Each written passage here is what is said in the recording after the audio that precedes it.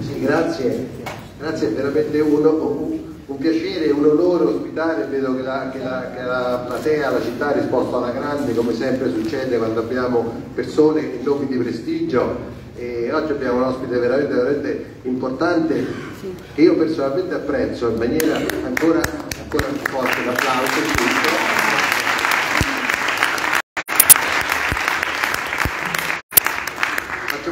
Questa, breve premessa personale perché io ho passato da giornalista, no? però prima di fare l'avvocato, però da, da, ragazzi tutti sognano, poi era un po' il sogno da, da ragazzo quello di fare giornalisti, no? ma quando uno immagina di fare il giornalista, sogna, si immagina di andare in giro per il mondo, di fare l'inviato, di conoscere i posti, cioè come se un calciatore sogna di andare in nazionale, perché ce ne va uno su, su quanti, su tantissimi, la vita giornalista generalmente è fatta di, di tutt'altro, per cui arrivare a questi livelli significa veramente come giocare in nazionale, è il sogno di qualsiasi ragazzino che immagina, per cui ecco c'è un fascino particolare anche per me trovarla, trovarla davanti. E, e poi comunque ecco, andando al dunque parlare con, con, lei degli argomenti che vengono parlati oggi, cioè la situazione delle donne in Iran e in Afghanistan, ho visto quello che è il titolo, credo che sia una cosa importantissima, perché raccontare la situazione, noi quante volte abbiamo parlato dei, dei, dei problemi di donne, di violenza delle donne, di varie opportunità, cioè quanti politici, quanti psicologi, quante persone abbiamo sentito, ma sentire il racconto di chi ha vissuto queste situazioni in prima persona, confrontandoli con chi vive nelle quotidianità queste situazioni di disagio, quello che è, che è la cronaca ed è la, la, sinergia tra la cronaca e, e la storia, perché poi tutto questo sarà storia, credo che sia qualcosa che stiamo facendo adesso di importantissimo, perché è quello che ci fa rendere conto veramente di qual è la situazione. L'unico commento che faccio, poi lascio subito la parola, questo è importantissimo perché perché serve per capire, cioè adesso ci racconteranno, probabilmente sentiremo storie di donne di, di situazioni completamente diverse dalle nostre, no? Un mondo che sembra diverso e che, che, rischia di esserci anche il boomerang che magari fa sentire noi, la nostra civiltà, la nostra comunità fortunata perché viviamo un mondo completamente diverso da, da quello. Però quello che è importante da certi segnali che arrivano è capire dove una certa mentalità, un certo modo di pensare a cosa può portare. Anche se noi adesso siamo lontani, da, cioè siamo sicuramente molto più evoluti, una civiltà che è andata molto oltre, però far capire che una direzione che è quella del massivismo, del patriarcato, a cosa può portare fino a questa aberrazione, fino a queste cose. Questo, questo non ci deve far sentire fortunati, ci fa capire solo che la direzione che stiamo prendendo è quella giusta, perché per fortuna la nostra civiltà sta cambiando, è cambiata molto, insomma, ma molto c'è ancora da fare, perché se parliamo di pari opportunità, parliamo di violenza sulle donne, vuol dire che il problema c'è ancora. Quindi capire queste aberrazioni, questa mentalità, se va in quella direzione, a cosa può portare. Per cui credo che sia un insegnamento importantissimo, quindi è un momento veramente importante questo. Io ringrazio chi è riuscito a portare qui Lucia Coracci perché è un regalo fatto, fatto alla città e alla comunità. Grazie. Direttore generale dell'AFA, Umbria, evidentemente Luca Proglietti. Grazie Roberto, buonasera a tutti, un grazie agli ospiti veramente di cuore, eh, a Lucia e a tutti voi.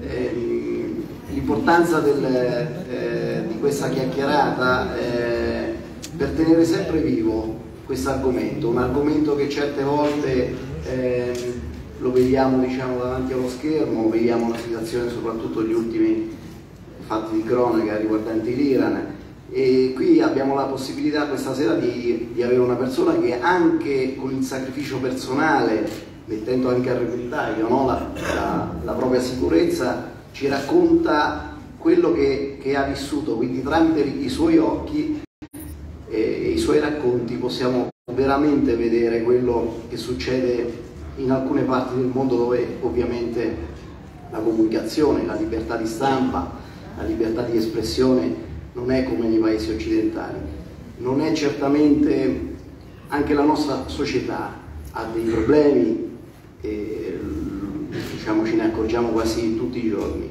ma in, in, in, in alcune parti del mondo, quelle che, dove, di cui tratterà stasera Lucia, certamente eh, diciamo, sono più critici più, e, e la, la, criticità viene perché poi eh, l'argomento non transitato, non fatto circolare dal punto di vista dei mass media, per cui il, ehm, è ancora più grave il fatto che ci si dimentica, mentre noi nei paesi occidentali eh, la comunicazione, la libertà di stampa e le cronache giornaliere permettono di capire i fatti che accadono in quei, in quei posti eh, diciamo, la, libertà è minore e quindi eh, vivono e soccombono eh, in maniera eh, silenziosa.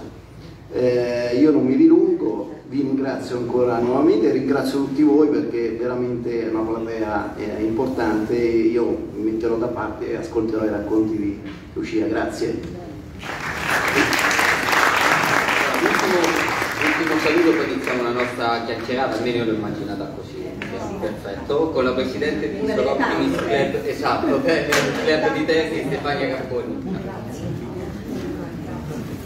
Grazie a tutti, grazie a Lucia Goracci che, che, è qui con noi. Quando, quando, ho annunciato alle amiche del Sorottimis che ho scoperto che Lucia Goracci conosce perché è stata ospitata a Palermo dal Sorottimis Club, tutte siamo state entusiaste, ma anche quando hanno parlato con le altre amiche della città c'è un'ammirazione, un affetto che, che, si, che, si, sente veramente, questa è una cosa bellissima. Poi noi come Sorottimis Club abbiamo firmato alla fine del 2021, quindi proprio al, dopo i fatti che sono accaduti in Afghanistan, un protocollo col Ministro dell'Interno per aiutare le famiglie che venivano accolte attraverso i corridoi umanitari. E vorrei dire che noi con il Sorottimis Club di Terni abbiamo aiutato una famiglia afghana che era qui ospite a Terni, in particolare i loro tre figli e abbiamo cercato la scorsa estate eh, di farli sentire meno soli e di fargli fare appunto delle attività sia sportive che ludiche.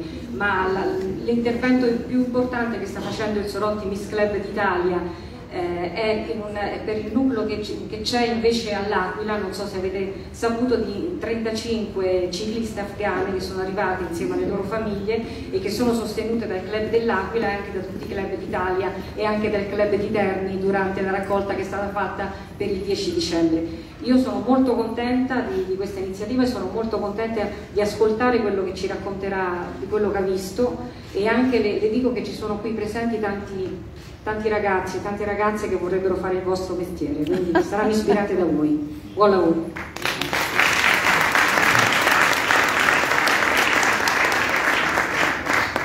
Allora, iniziamo, io inizierei così Lucia, perché penso che qua tutti conoscono, conoscono la Lucia Coracci, giornalista inviata, hanno seguito i tuoi racconti, io dico che ho conosciuto, ho avuto la fortuna e il privilegio di conoscere, la, di conoscere Lucia e la sua umanità ed è quella che io ho trovato nei suoi racconti, l'ho trovata nei racconti non mediati, nelle chiacchierate che ci siamo fatti in, in redazione.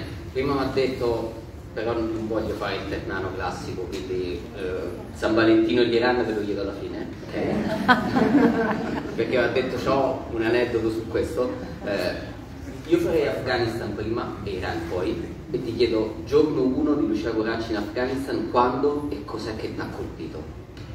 Giorno 1 di Lucia Goracci in Afghanistan eh, è un qualche giorno, non ricordo la data, del 2004, eh, quando vado, dopo il primo Emirato, eh, Torri Gemelle, intervento, intervento, intervento della forza militare internazionale in Afghanistan, rovesciamento dei talebani, siamo agli inizi degli anni 2000, e io arrivo nel 2004 con le prime elezioni del dopo Emirato. E, e c'è un grande fermento, cioè per la prima volta in quell'occasione l'Afghanistan ha una possibilità e le sue donne hanno una possibilità e a me fece molta impressione spingermi, soprattutto in Afghanistan rurale, remoto, andai ad Herat. Herat è una città al confine con l'Iran, una città molto bella, tra l'altro ci sono stati a lungo anche i soldati italiani con il Provincial Reconstruction Team, quindi con quel team militare ma anche civile che avrebbe dovuto, eh, dopo i talebani, ricostruire la città di Herat e dove io accosto un fenomeno che non conoscevo, quello delle donne che tentano di suicidarsi dandosi fuoco. Il disagio delle donne eh, ai tempi immediatamente successivi al primo Emirato è tale per cui molte tentano il suicidio ad El Harat Tentano il suicidio perché sono tornate tra l'altro dai campi profughi all'esterno, quindi da realtà diverse, più vantaggiose e favorevoli, eh, i programmi di rimpatrio le stanno riportando in Afghanistan e tentano il suicidio dandosi fuoco perché mh, mm, in quella cultura così appunto conservatrice e misogina persino il suicidio non è per donna, cioè lo devono fare in un modo che se non riescono a togliersi la vita deve sembrare un incidente domestico. Le donne non hanno diritto in quella cultura nemmeno a suicidarsi. Ed è, se ci pensate, un Afghanistan straordinariamente diverso da quello uh, che, che, stiamo vivendo oggi, perché eh, internet nei primi anni 2000 non c'era, la donna che viveva a Herat non sapeva nemmeno come vivesse la donna di Kabul, che era, paragonata alla realtà di Herat, più emancipata, ma soprattutto non c'era la rete. Cioè non c'era quella consapevolezza di un altro mondo possibile. Quello che ha secondo me accelerato la storia in quella parte di mondo, soprattutto del mondo femminile, è la possibilità di guardare fuori. Eh, la rete io dico sempre che è un Aleph borgesiano, non so se avete letto quel bellissimo racconto di Borges dove da un punto tu vedi in un'unità spazio-temporale tanto, vedi tutto. Ecco, internet per queste donne che fino ad allora vivevano confinate tra le pareti domestiche con zero possibilità di occupazione dello spazio pubblico ti offre invece svariate, infinite altre possibilità e si vogliono cogliere. Quei vent'anni che sono drammaticamente finiti nell'agosto del 2021, in cui le donne hanno avuto con la presenza occidentale, militare, ma anche di cooperazione internazionale, eh, diverse possibilità, sono diventate membri del Parlamento. Ho incontrato ad Atene, dopo la caduta di Kabul, nelle mani per la seconda volta eh, dell'Emirato Islamico, ho incontrato ad Atene molte parlamentari, molte giudici donna. Bene, quella rete, quel mondo diverso ti entra dentro e non lo vuoi più lasciare quindi il primo Afghanistan è un Afghanistan dove le donne non sanno che potenzialità hanno. Questo Afghanistan, soprattutto nelle città principali, eh, è invece un Afghanistan dove le donne sanno che cosa hanno perso e come dice Filomena Marturano piangono, perché il bene lo piangi quando l'hai avuto e non lo puoi più avere. E io ricordo la mattina, quell'estate facevo Agorà, conducevo Agorà e arrivo al lavoro e arriva la notizia degli americani che se ne vanno. No? E ovviamente per pezzo importante di, della mia generazione quella stagione si chiude e si chiude la stagione anche con quella che era stata la mobilitazione contro quell'intervento in Afghanistan e poi in, in Iraq e io come dire avevo questa lettura no? e l'ho sempre avuta però nel momento in cui se ne sono andati gli americani, ce ne siamo andati noi, insomma poi lo declini nel modo che ritieni più, più opportuno. Il primo pensiero mio, ma penso di tutti quanti, è stato e quelle bambine, quelle ragazze, quelle donne che hanno toccato con mano, mi dici della, il primo pensiero che hai avuto sulla base delle persone che hai incontrato, delle ragazze che hai visto studiare no, per la prima volta, che hai pensato? Allora, mm, per noi quel giorno è stato un giorno d'agosto, per gli afghani è stata una tragedia rallentatore, perché io che allora vivevo a Istanbul, molti mesi prima li ho visti già arrivare. Ehm, direi la forte accelerazione c'è stata in quella primavera del 2021, quindi circa sei mesi prima la caduta di Kabul. E, e mentre prima gli afghani che arrivavano in Turchia per poi tentare il salto verso l'Europa erano soprattutto giovani uomini, quindi era chiaramente una migrazione economica, a un certo punto sono iniziate a partire le famiglie, quindi in Turchia arrivavano le donne, arrivavano i bambini, là ho capito si stava scappando da un pericolo anche maggiore da, di quello costituito dalla povertà, cioè appunto l'arrivo dei talebani. Eh, per queste donne è stato veramente uno shock, cioè tutte hanno detto, mi hanno detto, io poi sono arrivata eh, subito dopo la caduta di Kabul, eh, sono arrivata prima dentro la base eh, che stava praticamente impacchettando vent'anni di missione militare internazionale. Ero là nel momento dell'attentato, il 26 agosto, l'attentato dell'ISIS contro questa macchina della, delle partenze, questi ponti aerei che cercavano di portare in salvo più il maggior numero possibile di afghani e poi sono tornata a settembre con il primo visto talebano, cioè questa volta non più lo spazio protetto dall'aeroporto Hamid Karzai di Kabul dove sotto i nostri occhi finiva, finiva una missione internazionale, tra l'altro in modo anche caotico, molto teso. Gli stessi soldati, io ero, ero con gli italiani, vivevano queste ore con un grande senso di impotenza, perché in qualche modo la decisione è stata presa più dagli americani e dagli europei dentro l'alleanza atlantica, l'accelerazione l'hanno voluta gli americani, e gli italiani, i tedeschi, gli spagnoli l'hanno un po' così subita e si puntava appunto a riempire questi C-130 dell'aeronautica di un numero maggiore possibile di afghani e di afghane, di bambini, proprio perché si sapeva che dopo, come nel film La lista di Schindler, no? dopo non ci, sarebbe, non ci sarebbe più potuti permettere di salvare nessuno. Eh, le donne l'hanno vissuto con, con fino all'ultimo hanno pensato non è possibile, non ci lasceranno, non è vero. Dopo l'hanno vissuto con un grande... Non, non, non mi hanno mai usato, non hanno mai usato con me la parola di tradimento, perché per pudore, per un senso di riconoscenza per quello che comunque per vent'anni era stato era un loro.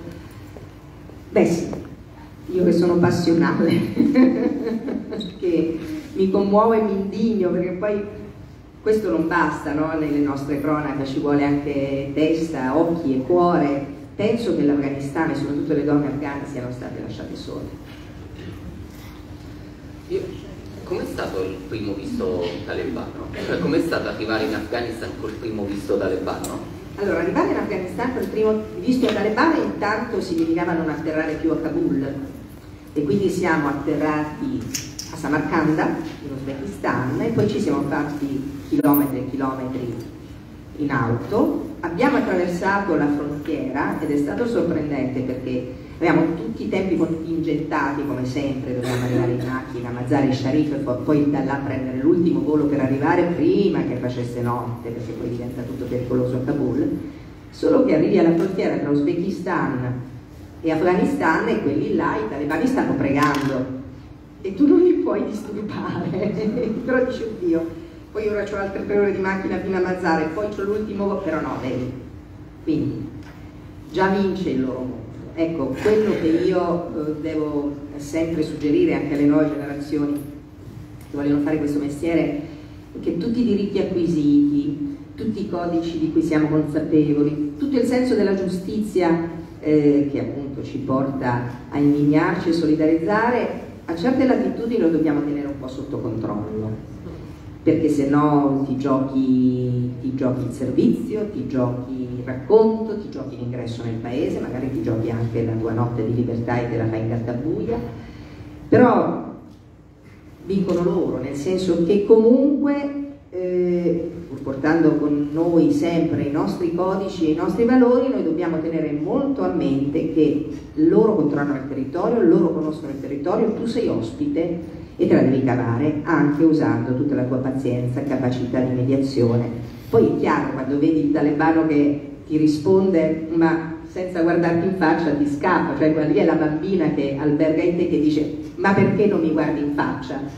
Visto che mi stai rispondendo e che io sono una cronista accreditata con il tuo governo. Ecco, ci sono dei, dei momenti qui, un paio di volte sono anche stata in Siria accompagnata eh, seduta stante dal regime alla frontiera, quindi buttata fuori dal paese perché evidentemente alle regole più inaccettabili non ero pronta a sottopormi, però c'è sempre da tenere presente una forte eh, componente di mediazione, di eh, aggiustamento, di eh, insomma tu sei anche il responsabile della troupe perché comunque ne sei responsabile, però quando il fixer, il fixer è il locale che ti aiuta nel lavoro quotidiano, ci, ti dice stai in macchina e non scostare il velo, ci penso io, tu devi stare in macchina, magari si brucia, senza neanche alzare gli occhi perché sei una donna e in quel momento è meglio se stai in macchina.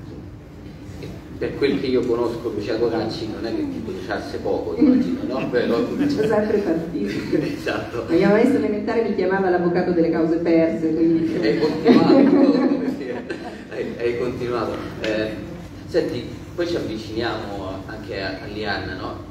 Tu sei stata a Istanbul per un lungo periodo e da Istanbul ci ha raccontato quei momenti drammatici della guerra siriana, la fuga dei profughi siriani, la rotta balcanica, che è quella che noi raccontiamo molto meno solitamente perché siamo tutti concentrati per tante ragioni sul Mediterraneo. No? Eh, mi dici la differenza negli sguardi delle donne a Istanbul e negli sguardi delle donne in Afghanistan prima del ritorno dei talebani e dopo il ritorno dei talebani?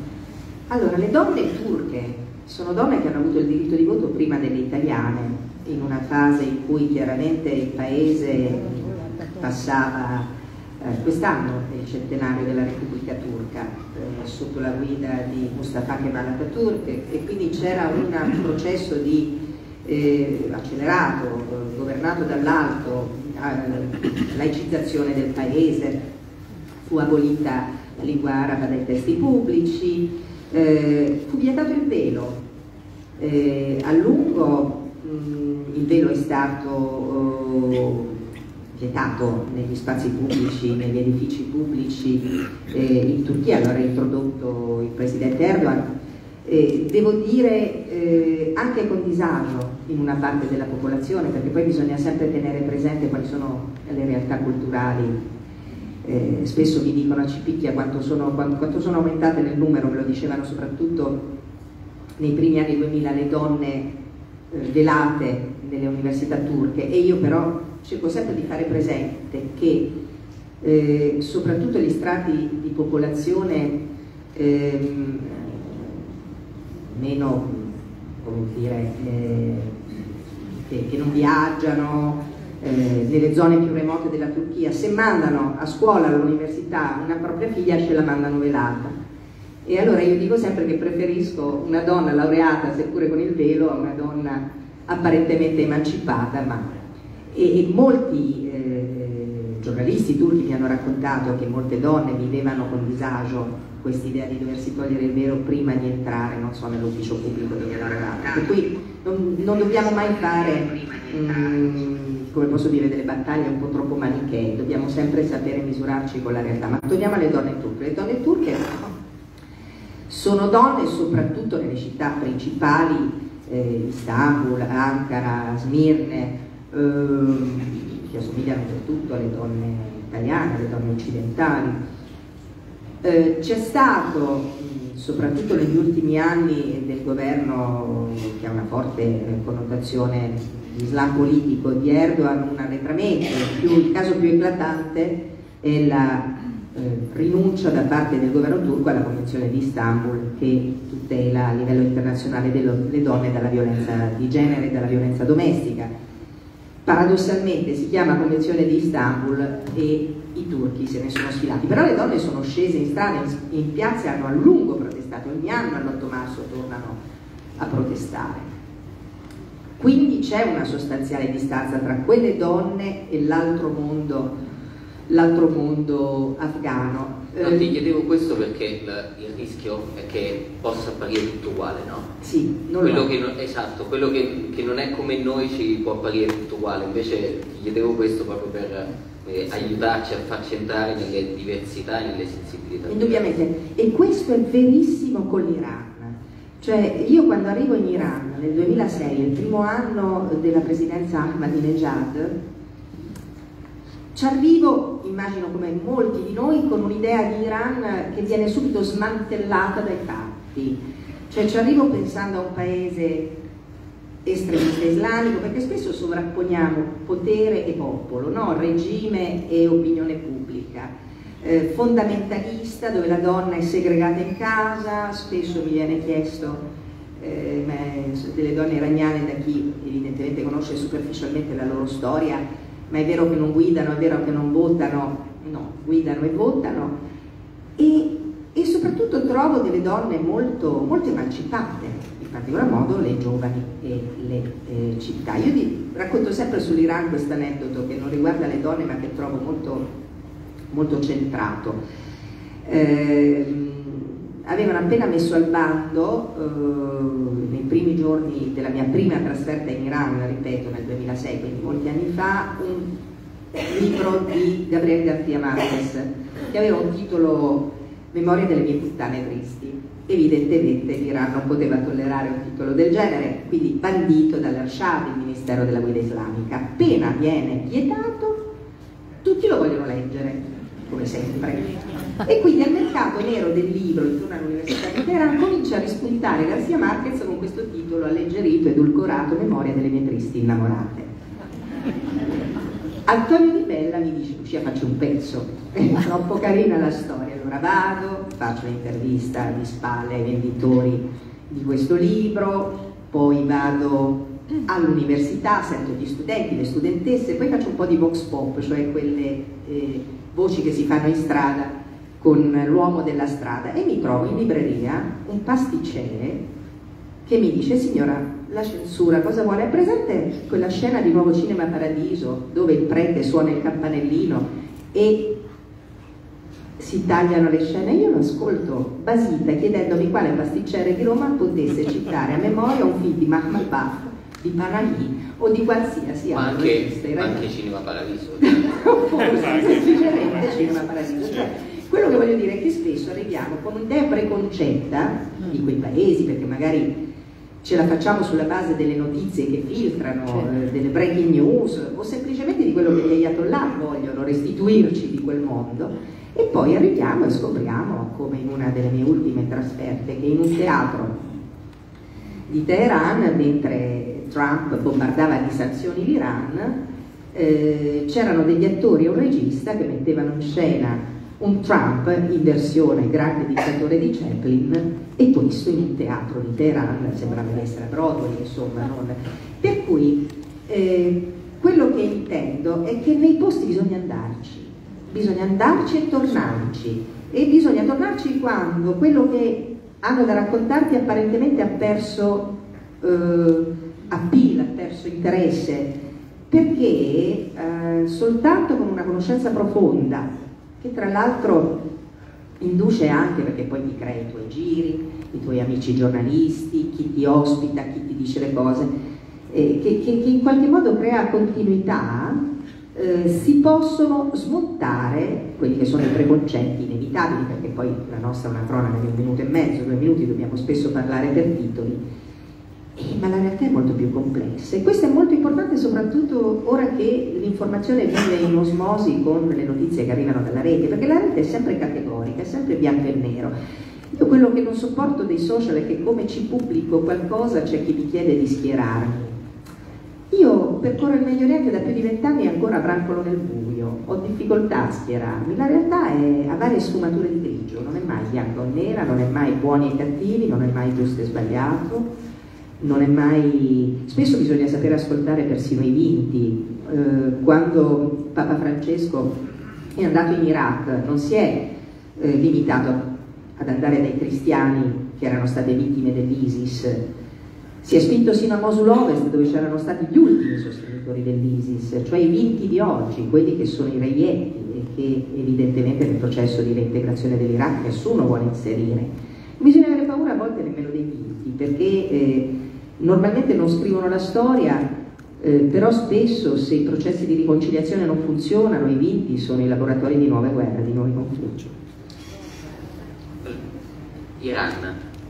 Allora io qualche giorno ne abbiamo parlato tantissimo, poi informazioni noi abbiamo questo difetto, inseguiamo i titoli per l'appunto e quindi ce ne dimentichiamo. Eh, se ho capito bene da quello che ho visto domani venerdì pubblica la copertina e quindi gli speciali sul, proprio sull'IAN. Come? Sì, appunto, con una, una bellissima copertina peraltro. Cos'è che non abbiamo capito di questa intanto rivoluzione è un termine giusto secondo te? Allora, io... Che è generazionale di genere e anche economico. Quindi. Indubbiamente. Allora, eh, rivoluzione nel, nel senso delle sue potenzialità, perché è una rivoluzione, cioè l'Iran ha detto addio definitivamente e lo ha detto nelle sue varie classi sociali, eh, identità generazionali al suo regime. E poi magari se vuoi proviamo anche a individuare i passaggi, le accelerazioni.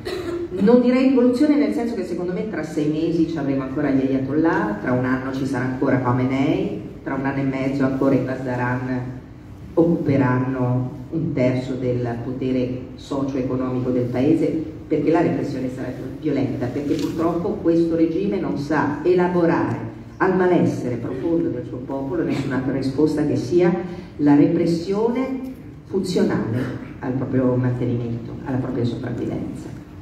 Vi racconto un altro aneddoto sulle donne iraniane che io trovo sempre molto sintomatico, divertente. Era il 2009, eravamo nella piena esplosione della protesta dell'Onda Verde, eh, che è stata l'unica protesta che ho potuto raccontare da dentro perché quando ci sono le fasi di crisi, di contestazione, gli iraniani non ti rilasciano i visti. Io non ci ho manco provato stavolta. Nel 2009 c'ero perché era una elezione che era degenerata in protesta. Arriviamo, eh, il fronte riformista ha due candidati forti, Musavi e Haroubi, attualmente ancora agli arresti domiciliari, che riescono a catalizzare l'entusiasmo di tutte quelle categorie che nelle precedenti elezioni avevano disertato le urne e riportano gli iraniani a votare. C'è un barometro in Iran, quando le urne si chiudono tardi vuol dire che va bene il fronte progressista. E così era stato. Nel giro di poche ore il regime proclama la vittoria di Ahmadinejad del Falco, che ex, cioè il presidente uscente si era ricandidato. La rabbia degli iraniani esplode perché è chiaramente impossibile che tutti i voti degli iraniani si siano contati in poche ore, tanto da. Ed esplode in strada.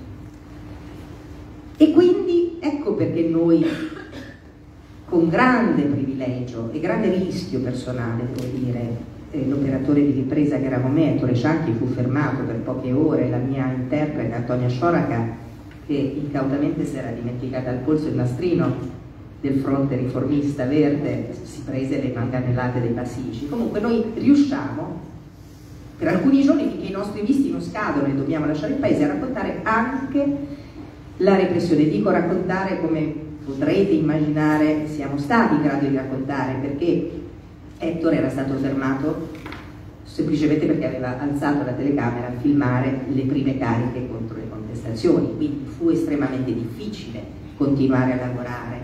Andavamo negli uffici di coraggiosissimi iraniani che ci facevano fare le riprese dalle persiane delle loro, non c'erano gli iPhone allora, e quindi non potevamo nemmeno, fu veramente difficile.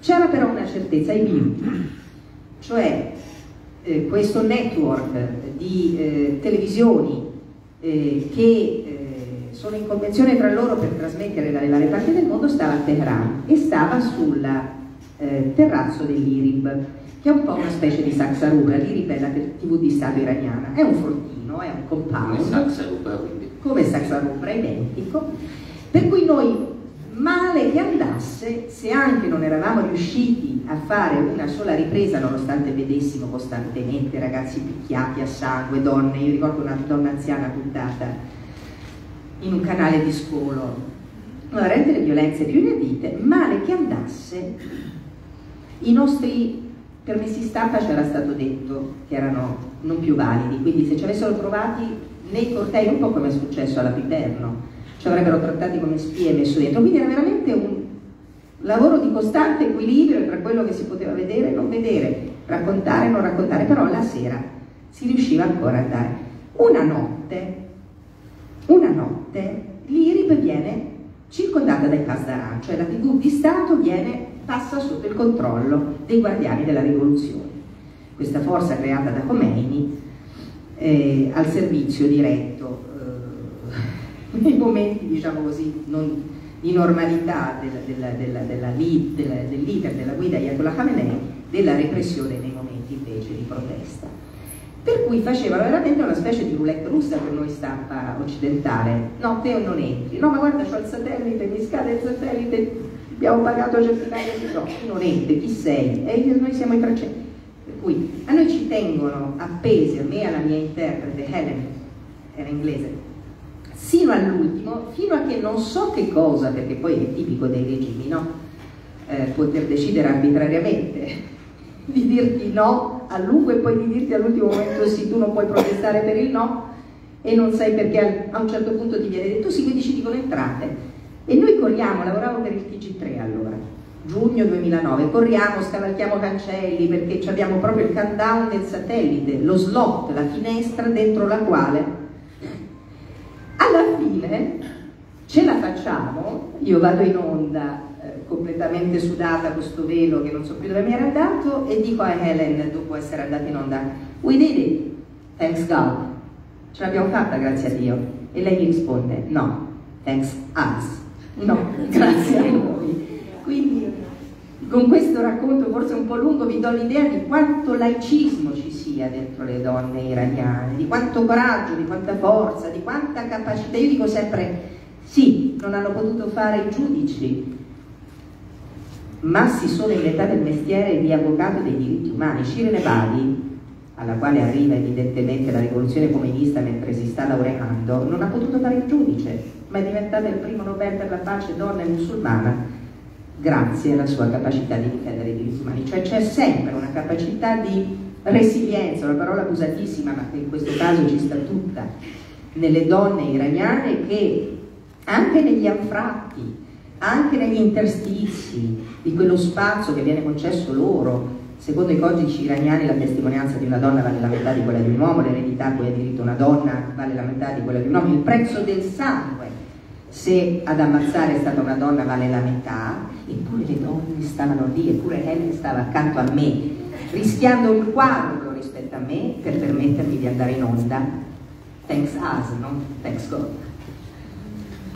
Che c'ha di diverso quella del 2009 da questa rivoluzione? Allora, tante cose. Allora, nel 2009 c'erano i riformisti, cioè c'era, c'era appena stato un esperimento eccezionale per l'Iran con il presidente Khatami.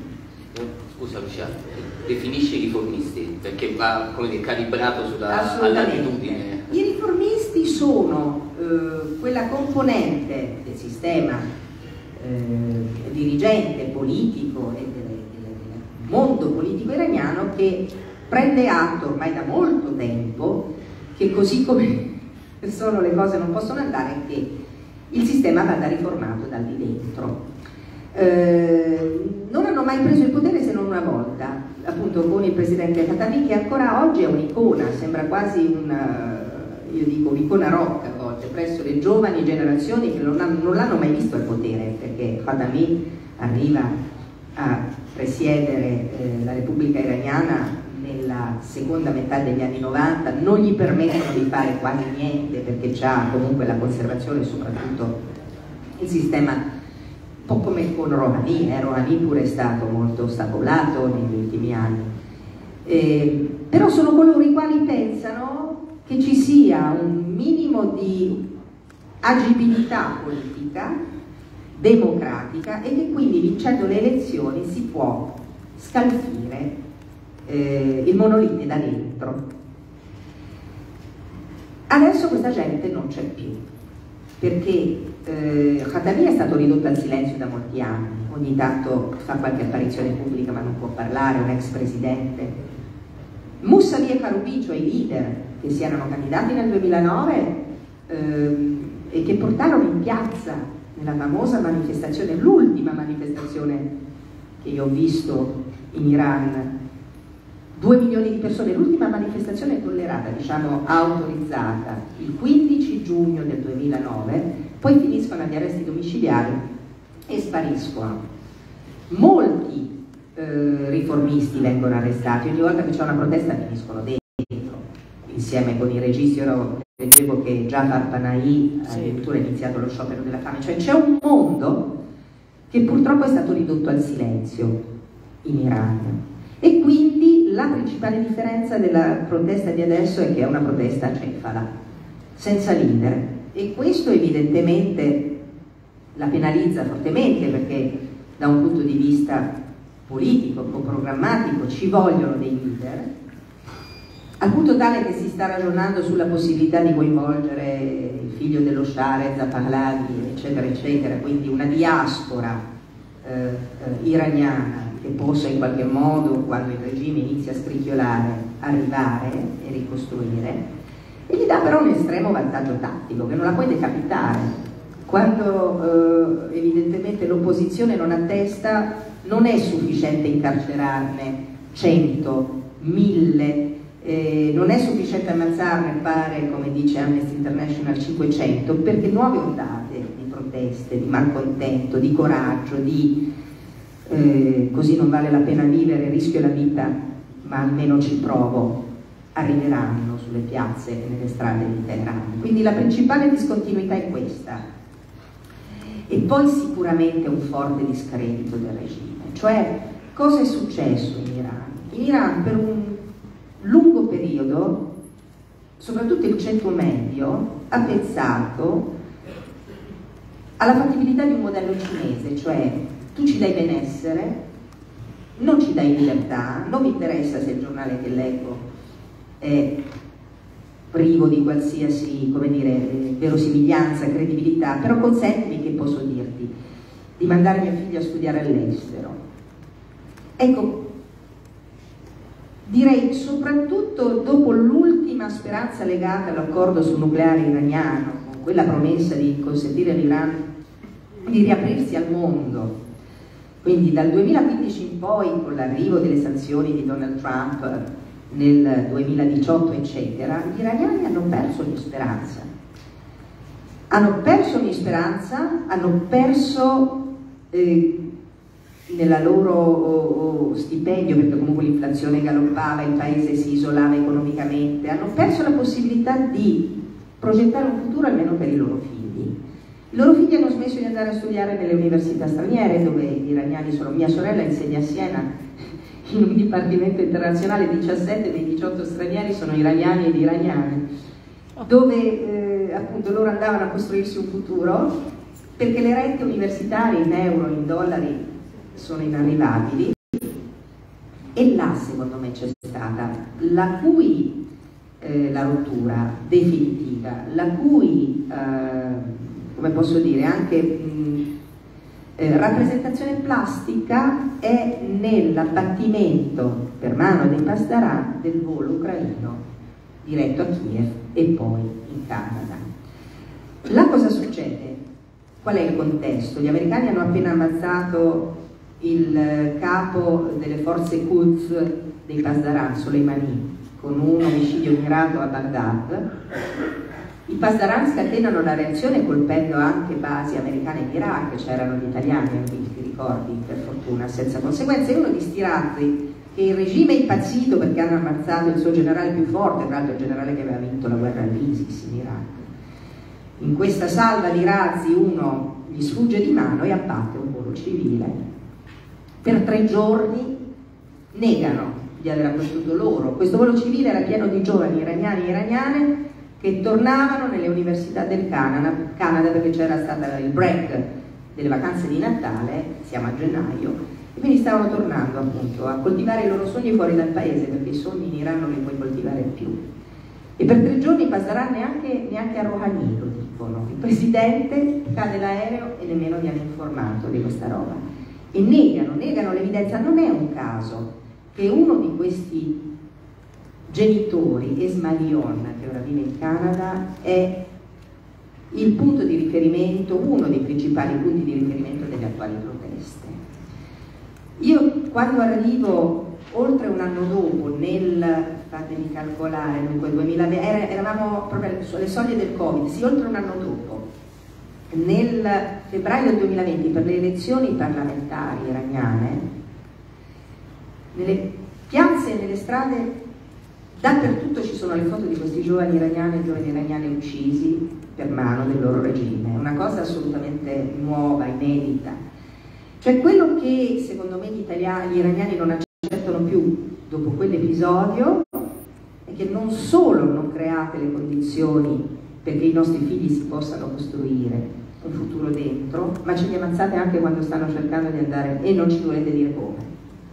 E questo è Masarni, perché c'è questa forte empatia con la ragazza venuta dalla provincia kurda e che viene ammazzata di botte dal Gasht Ershad, dalla polizia della morale perché aveva un ciuffo fuori? Perché tutti gli iraniani pensano che quella ragazza poteva essere la loro figlia o la loro sorella o anche la loro moglie. Ecco, in questo è una rivoluzione nel fatto che indietro non si torna, comunque vada, e a breve ci sarà una profonda repressione sicuramente. Lucia, hai... allora, nel, titolo è stato messo Afghanistan Iran, no? Però se dobbiamo parlare di donne, dobbiamo parlarle in quel eh, pezzo d'Atlante geografico, che ce l'avevo quando andavo a scuola d'Atlante geografico, e visto che sei stata a Istanbul, io delle donne kurde devo chiedere. Oh. Perché quello è proprio... È, non Tanto so se- ora ne posso parlare anche liberamente, perché ho rischiato anche di essere espulsa dal paese per quella mia affezione al racconto del mondo curdo, insomma, finisci la tua... No, no, guarda, in realtà non è una domanda, è proprio una, una consegna, no? Una consegna di spiegacela bene questa cosa. Certo. Spiegacela proprio bene. Questo, posso dire questo sogno, perché quello è un sogno. no? Sì, assolutamente lo è, se andate a leggervi la carta sociale della Rojava eh, c'è tutto, Eh, c'è eh, diritti delle donne, eh, questo riconoscimento di un ruolo paritario, hanno sempre dei co-leader i curdi, due leader, un uomo e una donna, ci sono poi temi ambientali, di giustizia sociale eccetera, che cos'è la Rojava? Eh, la Rojava esiste ancora, è territorialmente una parte della Siria, il nord-est. La Rojava però, come dicevi, è anche un progetto, è un sogno. È un sogno che i curdi siriani sono riusciti a realizzare nel momento più buio per loro, cioè quando l'ISIS li stava mangiando. Eh, questa storia comincia più o meno nell'autunno del 2014, comincia a Kobane. Tra l'altro, piccolo aneddoto, Kobane viene da Company, perché da lì passava la Berlino-Baghdad e quindi la company che costruiva la ferrovia dette il nome a Kobane. E, Kobane è destinata a cadere mm, come tutto il resto intorno sotto l'avanzata dello Stato islamico che si è mangiato tutte le terre a ovest e tutte le terre a est, circondata sui tre lati c'è l'ISIS e sul quarto c'è la frontiera turca ermeticamente, ostilmente chiusa. Perché ostilmente chiusa? Perché in questo ha ragione Erdogan considera. I curdi siriani una costola del PKK, questo è indubbio, nel senso che c'è una forte affiliazione tra le forze YPG o YPG nel caso delle donne, cioè le forze di protezione, le milizie di protezione del popolo, cioè quelli che hanno dentro Kobane resistito all'ISIS, e quelli che sono di là, cioè i curdi PKK, i curdi la cui evidentemente battaglia redentista ha portato anche a fenomeni purtroppo a partire dagli anni 80 di autentico terrorismo. Solo che i curdi di Kobane non facevano male alla Turchia, non l'hanno mai fatta. È successo il contrario. Però torniamo appunto a quell'autunno in cui Kobane sta cadendo. Io ricordo perfettamente, ero l'Alter Rai News, prima lo raccontavo dalle colline di Ogiu Pinar, quindi dalle ultime propaggini turche su questo villaggetto curdo siriano assediato dall'ISIS, poi finalmente saltiamo dentro.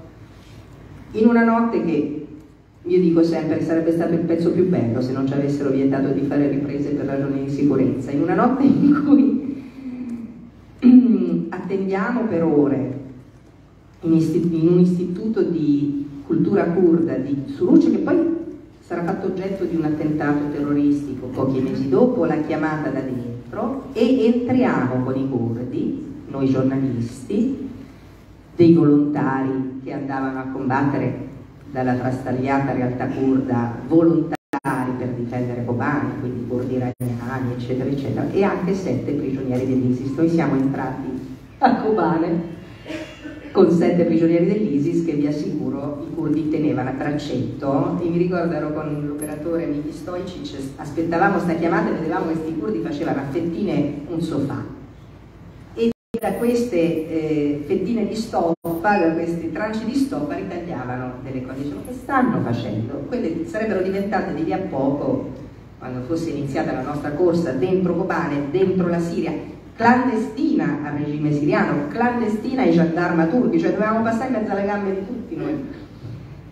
Erano il bavaglio e le manette di questi sette prigionieri dell'ISIS che insieme con noi e con tutti i volontari entrarono dentro Kobane come una specie di, non so, armata Brancaleone. Eh. scusa, poi come ti guardavano i miliziani ISIS? Come guardavano una donna occidentale giornalista? Quando sono prigionieri con lo sguardo basso, ormai erano cattivi, captives, e quindi erano sottomessi, eravamo sotto la protezione dei curdi, non so cosa sarebbe successo se fu un giorno in cui eravamo proprio sulla, forse te lo ricorderai, ehm, uno dei primi servizi, uno dei primi racconti eravamo proprio sulla fronte est, se non ricordo male, e l'ISIS manda una doppia autobomba come fa spesso, no?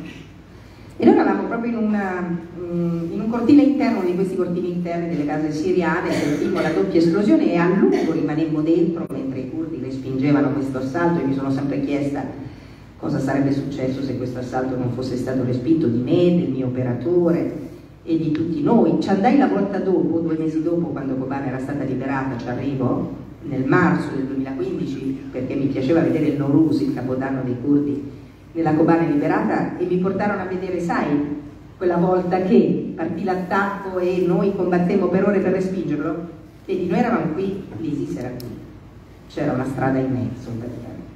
Comunque, torniamo a Kobane.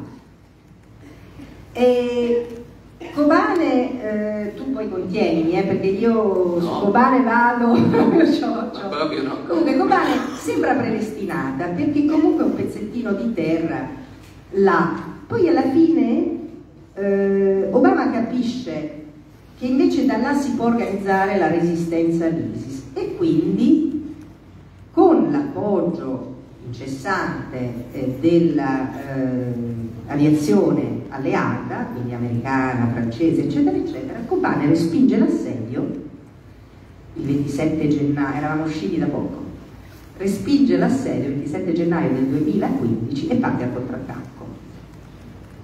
Libera, e libera, territorio arriva Raqqa, arriva Baghuz, sono quelli che ci hanno praticamente in Siria sbarazzato dell'ISIS. E purtroppo però questa crescita di popolarità internazionale e anche di controllo del territorio urta le sensibilità di Erdogan, soprattutto perché ha il timore che questa realtà, la Rojava, si eh, venga a costruire lungo tutto il confine nord della Siria. Quindi Kobane, Tal Abyad, i curdi arrivano sino a Derrick, arrivano sino a ricongiungersi con il Kurdistan iracheno, per impedire che questi si ricongiungano anche a ovest con l'altra enclave kurda Afrin, Erdogan entra e ferma l'avanzata. E questa è la prima di una serie di offensive della Turchia di Erdogan contro i cur- Tra l'altro un pazzesco eh, ricerca, continuato equilibrio perché Erdogan sta dentro l'Alleanza Atlantica e gli americani hanno bisogno di questo paese che ha una posizione geografica di una eccezionale rilevanza, guardate che hanno fatto con le navi del grano in uscita dall'Ucraina, però allo stesso tempo non può mollare i curdi, perché sono quelli che combattono l'ISIS, eccetera. E le donne kurde sono straordinarie, intanto perché sono estremamente infastidite da questa ehm, popolarità un po' da copertina patinata, per un certo periodo abbiamo deciso di, di dare loro, salvo poi dimenticarcene, come sempre succede subito dopo. Io mi ricordo che eh, giustamente Rai News mi chiedeva facci il pezzo sulle facci il pezzo sulle combattenti, io raccontavo appunto la neve, la cosa, l'assalto, eccetera, ma ste kurde non se volevano mai intervistare. Poi alla fine, perché loro si considerano esattamente come gli uomini, eh, alla fine faccio questo pezzo, loro stavano su una parte di fronte, passo alcuni giorni con loro, molto belli, capisco anche che non è tutto oro quello che luccica, perché comunque capisco che molte di loro diventano soldato per sfuggire a delle famiglie molto conservatrici. Quindi c'è Kurdistan e Kurdistan anche là, però per chiudere, eh, una delle cose più carine che mi raccontano in un'intervista è che quando sono sul fronte e sentono, non so, dai walkie-talkie che l'ISIS è vicino perché sentono le voci dei jihadisti, si mettono a cantare a squarciagola i canti di guerra dei curdi perché quei cretini là, riferiti appunto allo Stato islamico, pensano che se ad ammazzarti in guerra una donna non va in paradiso. No,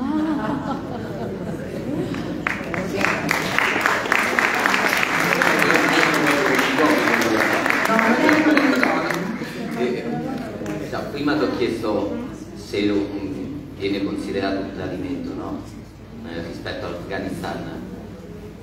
Per me, per Roberto, noi li abbiamo traditi i curdi, per Lucia noi li abbiamo traditi i curdi, loro si sentono traditi da quello che hai... Allora, io sono fortemente sospettosa che da qui alle elezioni del 14 maggio, quando Erdogan si gioca il proprio futuro, ci sono le presidenziali, le parlamentari, potrebbe partire l'assalto a Kobane, cioè la Turchia nei vari assalti contro i curdi della Siria si è mangiata via via varie città, anche kurde, ora c'è questa famosa fascia di sicurezza di 30 km eh, che entrando in territorio siriano l'esercito turco ha creato. Certo Kobane sarebbe una, un po' troppo, cioè Kobane per fortuna conserva ancora quell'alta carica simbolica, evocativa, è l'ultimo lembo di Kurdistan siriano che ancora l'esercito turco non ha, come dire, no? asfaltato. E non si sentono traditi, però sono fortemente impensieriti. Anche perché tutte le volte che Erdogan è entrato contro i curdi ha avuto l'implicita luce verde degli americani che sono impieganti, e il via libera dei russi che controllano i cieli della Siria.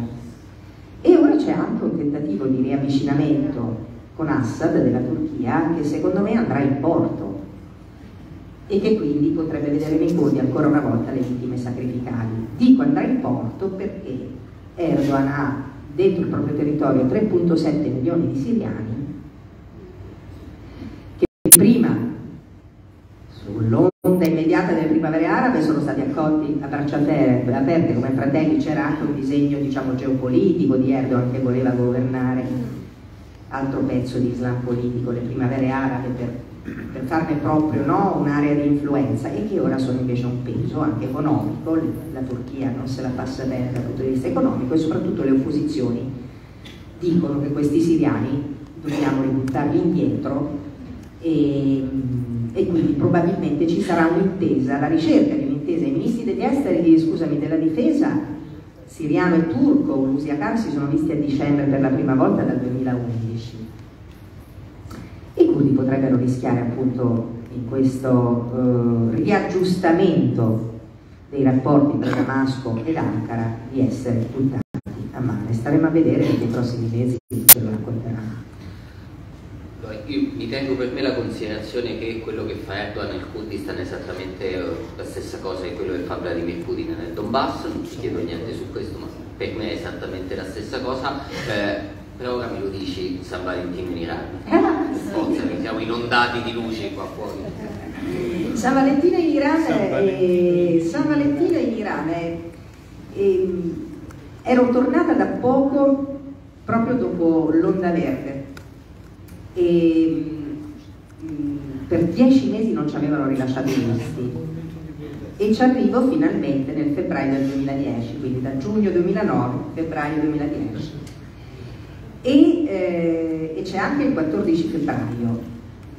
Beh, in quell'occasione il regime ci dette un visto cortissimo per avere me e gli altri colleghi, la prima stampa internazionale che tornava in Iran, fuori dalle scatole per San Valentino e dovetti ripartire dopo pochi giorni.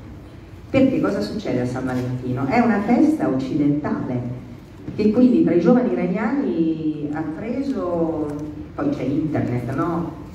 Grande popolarità.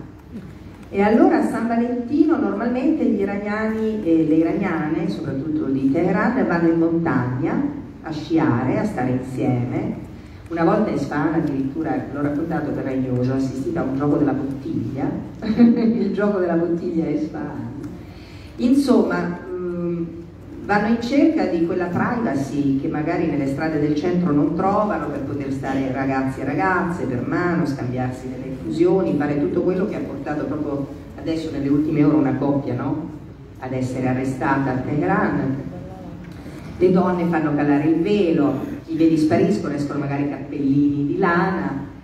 E io dico sempre come l'aria, eh, anche i controlli in montagna si fanno più rarefatti, quindi San Valentino a Teheran è un momento di libertà cresciuta ma anche di eh, a valle di controlli accresciuti. Quando sei a San Valentino in Iran e non potevi, quel famoso 2009, ma altri San Valentini ne ho fatti e ne ho raccontati, nelle piazze principali c'è uno spiegamento di Basigi, di Pasdaran, di polizia, perché appunto è una data simbolica e si temono manifestazioni di strada. Eh, certo.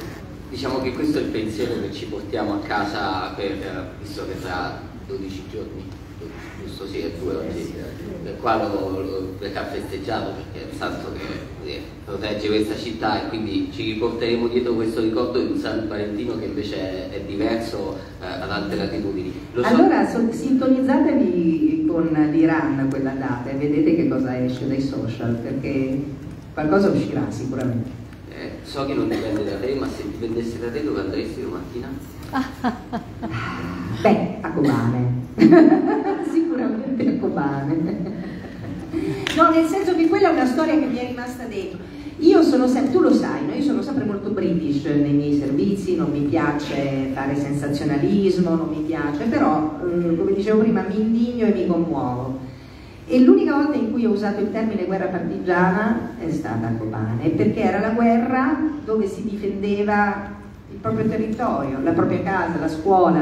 In guerra le scuole diventano subito caserme perché sono in genere gli edifici più alti e si difendeva il proprio territorio, lo si doveva difendere senza una via di fuga su quattro lati, perché su tre c'era l'ISIS e sul quarto c'era la Turchia che un po' di profughi aveva fatti scappare ma che poi aveva chiuso completamente eh, le porte. Per cui, eh, e poi perché sono sempre in bilico per essere sconfitti, quindi il mio, eh, come posso dire, ehm, l'avvocato delle cause perse esatto, della scuola. Bravissimo, esattamente, sì sì sì.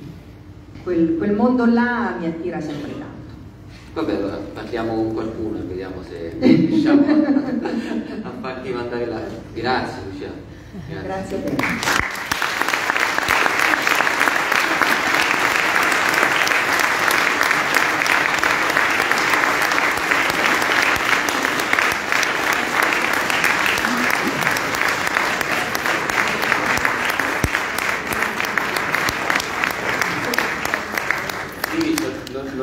all'inizio di ringraziare Rossano che mi ha contattato eh, quando mi ha detto eh, vorresti a moderare un incontro con Lucia ho detto certo prima che mi dicesse dove, quando e perché ho detto beh certo e quindi sono molto contento di essere stato qua e ti ringrazio e ringrazio tutti voi per essere stati con me stasera e volevo chiedere una cosa lei lei ha la vocazione dell'inviata di guerra? Sì, io devo dire di sì, nel senso che ho sempre pensato a questo mestiere eh, in questo modo. Ah. In questo modo, io avevo la passione per Oriana Fallasci ovviamente, eh, infatti, per Oriana Fallasci che mia madre mi regalò, eh, la prendo sempre in giro, quando piagnucola per le mie partenze a rischio le dico così impari a regalarmi niente così sia a nove anni, anche tu, scusami, eh, fammi leggere Topolino la prossima volta, nove anni. E poi Kapuscinski, e poi, e, sì, sicuramente ho sempre pensato al giornalismo come un giornalismo di guerra perché secondo me in guerra, eh, in guerra c'è l'umanità ai suoi estremi, c'è l'estrema codardia e l'estremo eroismo, quell'eroismo casuale perché poi non si sceglie no, da mattina, dalla mattina alla sera di essere eroi, semplicemente lo si diventa perché appunto sei a Kobane e devi imbracciare un fucile per difendere i tuoi figli. Quindi sì, ho sempre pensato a questo genere di informazione spero di riuscire a farlo e spero che ci siano tante generazioni che continuino a... Secondo me siamo ancora più necessari adesso che le notizie ci arrivano a casa perché è troppo facile così, no? E ci sono le fake news eccetera. Del giornalista che va a vedere, soprattutto del giornalista onesto, Kapuscinski diceva il cinico non può fare questo mestiere, e io mi fido e gli do più credito che alla valanga di informazioni che arrivano appunto. E lei ha paura eh, alcune volte? No, guardi, sì sì, rispondo un attimo a questa domanda, se posso, se c'è ancora tempo, se possiamo tenere la sala. Allora, la paura, sì, cioè la paura è, ecco, entro, entro a Kobane so che inizierò a correre per ore e non posso tornare indietro. Entro a misurata, la misurata libica eh, circondata dalle forze di Gheddafi e so che sto entrando su un rimorchiatore che va a pochi nodi e che i missili potrebbero, cioè è quella paura che dici porca miseria, adesso veramente, sei veramente dentro. E spesso però una paura anche eh, che non hai il tempo di percepire, una volta ero a Gaza, eh, ero a Gaza e volevo approfittare di una tregua per andare a vedere una storia in un campo profughi che era proprio sulla primissima linea del fronte. Allora chi Marina Sapia dissi guarda sto facendo questo, mi metto in macchina, se si rompe la tregua e riprendono a bombardare, a farsi la guerra, avvisami.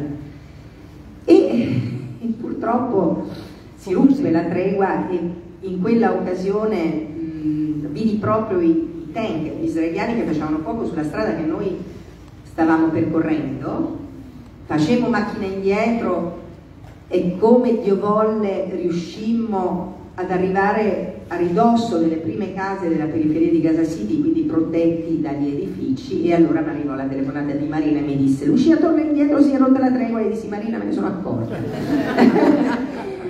Detto questo però il giorno dopo è già passato tutto, il giorno dopo hai voglia di tornare, eh, magari se non fin là eh, a un chilometro, fermandoti un chilometro prima. C'è il mio operatore, l'operatore che partiva sinora con me mi dice sempre lui ha esperienze di guerre trentennali molto più antiche di me e io dico sempre Vicky ma secondo te si può ancora andare? Mi dice sì, secondo me guarda le macchine vengono in direzione contraria quindi c'è traffico civile, secondo me si può andare all'ultimo successivo checkpoint Vicky ma che dici?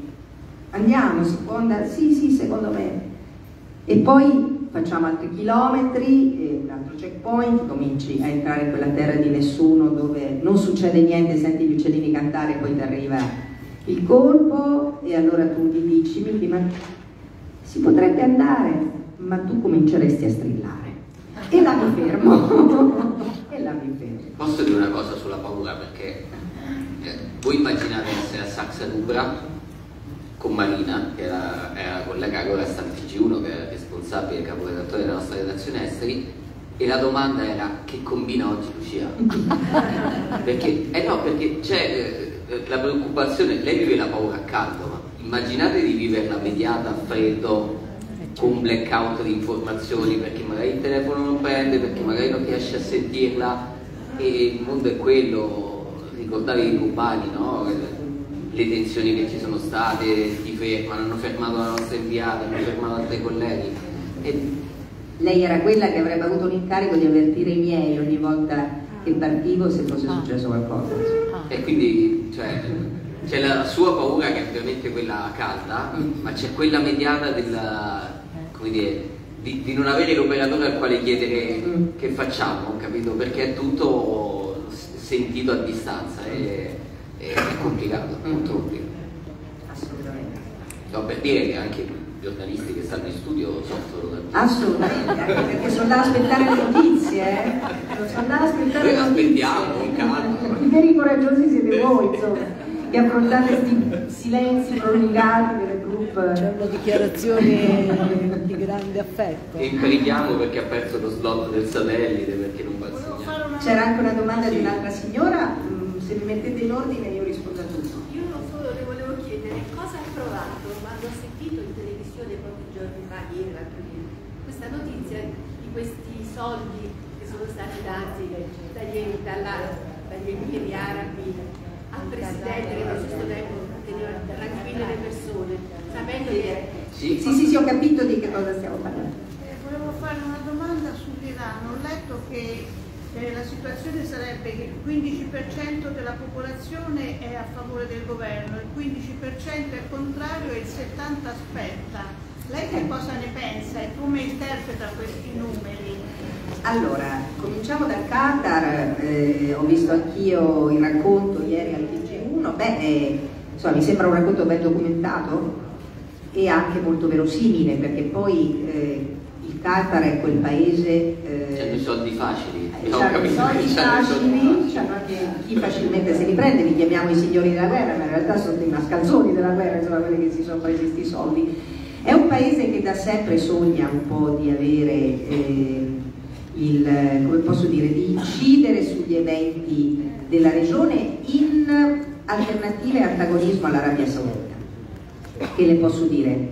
Eh, Egitto, fratelli musulmani, eh, il Qatar appoggia Morsi, quindi il presidente fratello musulmano, l'Arabia Saudita finanzia il generale Sisi, quindi c'è questo antagonismo che poi appunto si riverbera sui destini delle afghane e delle afghane, quindi penso che sia molto, molto verosimile quello che è stato ricostruito e raccontato.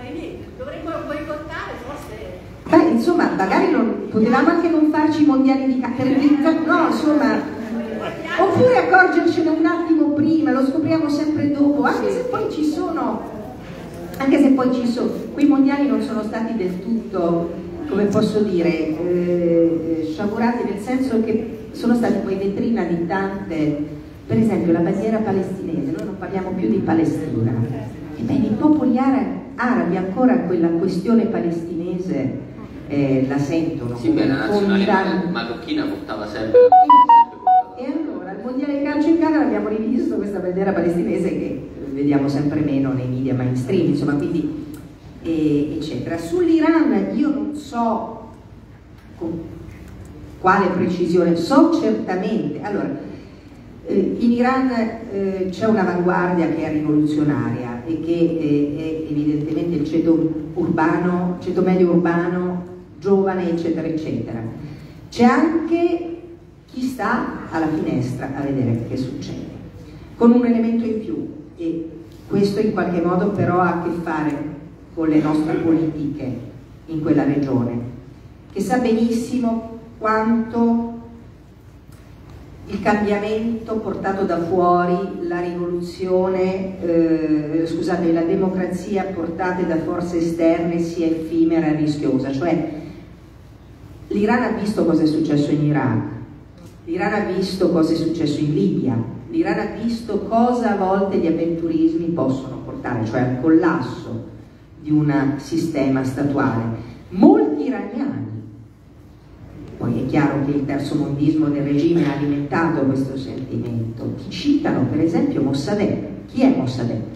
Mossadegh è stato il primo eh, leader iraniano anni 50 democraticamente eletto che voleva nazionalizzare il petrolio iraniano, siamo ai tempi dello Shah, e le sette sorelle anglo britanniche gli hanno organizzato un colpo di Stato. È bellissimo il museo delle spie dentro la ex ambasciata americana a Teheran perché ci sono i manichini con tutti i cospiratori che stanno facendo il golpe contro Mossadegh che verrà rovesciato e poi morirà in disgrazia. Cioè, quanti errori abbiamo fatto noi?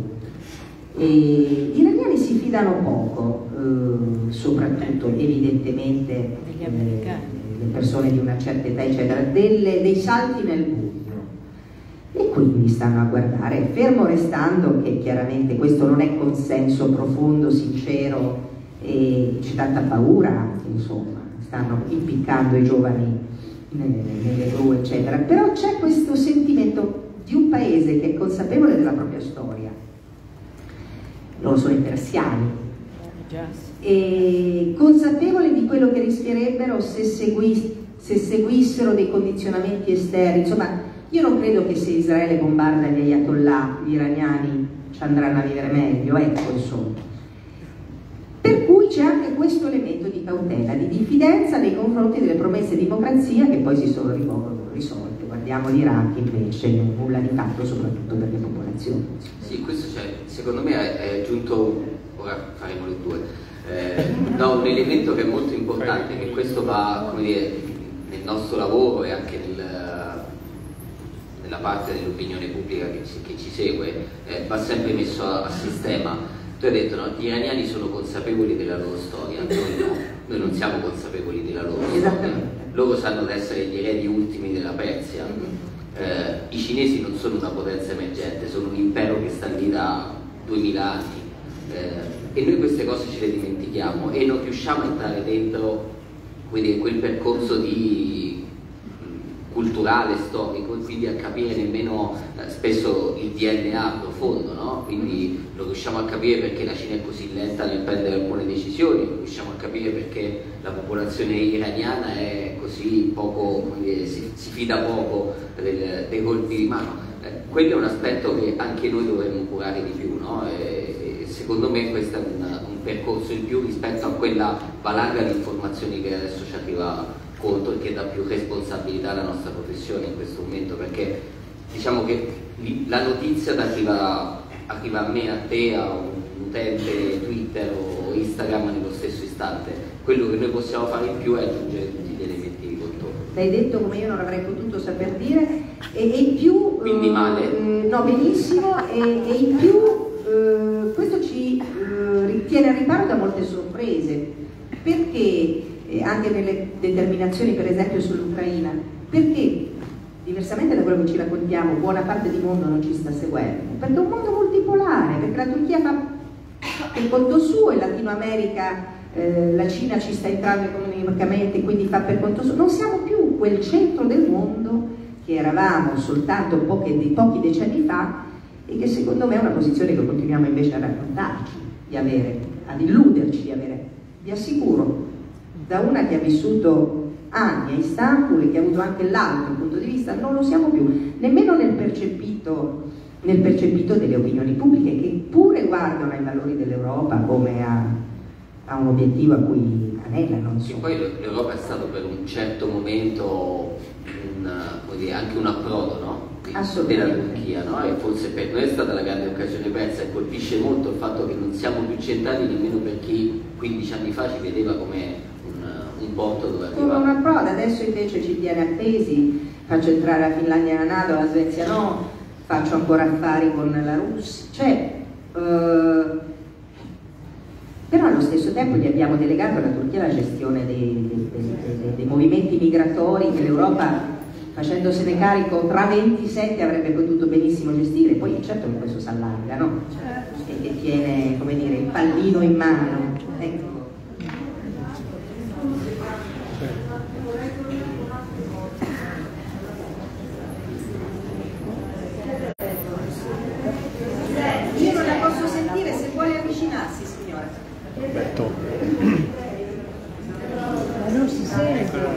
sentiamo. Rosanna. Eh, una soluzione rispetto a quello che io ritengo un genocidio infinito delle donne afghane. Consentitemi questo termine forte. Guardi, è il, il dilemma che abbiamo sia con l'Iran che con l'Afghanistan è molto simile, eh, perché eh, quanto più eh, le leadership sono eh, impresentabili, tanto più noi siamo spinti a con loro, no? Con l'Iran c'era per esempio in corso un tentativo di rimettere in piedi l'accordo sul nucleare iraniano che evidentemente dopo quello che sta succedendo è naufragato, poi c'è anche l'altro eh, racconto parallelo che non abbiamo, che abbiamo solo sfiorato, non ci interessa stasera, cioè delle forniture di droni di armi dell'Iran alla Russia sul fronte ucraino quindi noi siamo in questo grosso problema che più isoliamo un paese perché è impresentabile e meno leve abbiamo per eh, proteggerne le popolazioni che sono principali vittime delle loro azioni. Io spesso in appuntamenti come questa volta mi è capitato anche di discutere per esempio con le attiviste della diaspora iraniana che ci dicono eh, ritirate gli ambasciatori. Bene, ritiriamo gli ambasciatori e poi chi vede cosa succede là dentro? Cioè come possiamo tentare anche premendo per partecipare ai processi, magari per andare a visitare il carcere. Cioè, la Piperno è stata portata fuori mentre altri europei che come lei avevano in qualche modo probabilmente, verosimilmente fiancheggiato i cortei o comunque manifestato a favore di quello che stava succedendo, è stata grazie all'azione della nostra diplomazia. Quindi il grande cortocircuito è proprio quello, che più noi eh, rompiamo con i talebani, con Khamenei, eccetera, eccetera, e meno leverage, meno moral suasion. Quando io dico chissà cosa sarebbe successo se l'accordo sul nucleare avesse funzionato, l'Italia aveva progetti di investimento infrastrutturale, strade, autostrade, ferrovie in Iran per miliardi di euro, forse sarebbero entrati progetti, sarebbero entrati uomini d'affari, si sarebbe creato lavoro. Poi è arrivato Trump, ha preso a schiaffi una leadership, Rouhani e Zarif, che gli accordi li stava rispettando e non ci ritroviamo con questi. E le iraniane si inalberano un po', perché dicono è come se tu dicessi che Trump è colpevole di quello che sta succedendo. No, io cerco di dare il contesto. E qual è il contesto? Adesso è di un'enorme, profonda perché noi non abbiamo più eh, quella potere di condizionamento commerciale, economico, finanziario e quindi politico che un tempo avevamo, per esempio con l'Iran. E quindi possiamo fare del poco e possiamo continuare a parlare, questo sicuramente. Cerchiamo, io dico, eh, su Kobane per esempio ci lavorai in vano, gli academic refugees, facciamoli venire a studiare nelle nostre università, apriamo le nostre università, apriamole per quanto possibile Facciamo esattamente il contrario, perché gli afghani sono fermi a Lesbo, fermi in Grecia, fermi in Turchia e quindi è complicato pure far scappare. E mm, continuiamo a parlarne, continuiamo a inalberarci, a indignarci, a chiedere informazioni, a incontrare i giornalisti che sono stati, perché poi dal rapporto diretto con il pubblico escono fuori tutte quelle cose che non si riesce a mandare in onda. E purtroppo nella frustrante consapevolezza che però non siamo più così centrali eh, nelle relazioni internazionali come potevamo essere un tempo. Io so che ci avete 7.000 domande, ma so anche le 8.30, e quindi vi dobbiamo salutare. Ringrazio Lucia ovviamente, ringrazio voi per essere stati. ありがとうございました。